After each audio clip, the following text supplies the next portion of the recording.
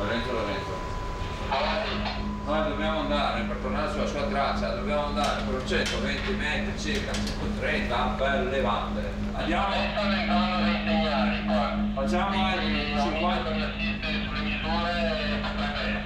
Facciamo 50 metri per 250, 245, 6 bearing, altri 50 metri. stessa velocità 1.2.